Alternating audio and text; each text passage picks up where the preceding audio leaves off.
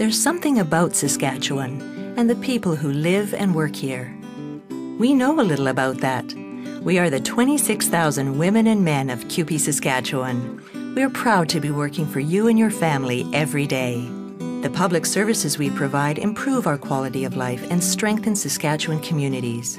Who does that benefit? Everyone. The Canadian Union of Public Employees, your community union.